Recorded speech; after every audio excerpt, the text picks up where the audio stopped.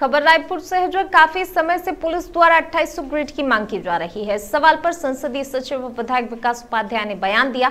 उन्होंने कहा कि हमारी सरकार बनने के बाद दो साल कोरोना संक्रमण काल था। अब धीरे धीरे सरकार सभी घोषणाओं को पूरा करेगी।